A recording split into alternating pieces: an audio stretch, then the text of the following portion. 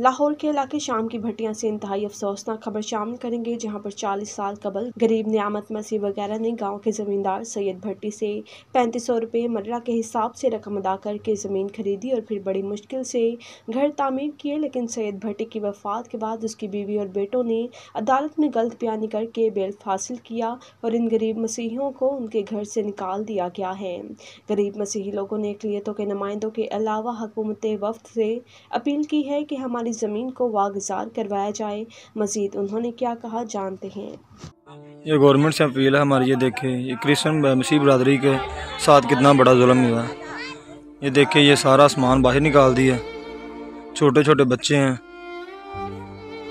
देखे ये वो क्रिश्चन है सारे जिनको बाहर निकाला गया घरों से। ये बच्चे हैं छोटे छोटे बच्चे हैं। ਭਾਈ ਆ ਵੇਖੋ ਸਾਡੇ ਘਰ ਅਸੀਂ ਗਰੀਬਾਂ ਨੇ ਬਣਾਏ ਨੇ। ਆ ਵੇਖੋ ਸਾਡੇ ਨਾਲ ਜਾਇਤਗਾ ਹੋ ਗਈਆਂ ਨੇ।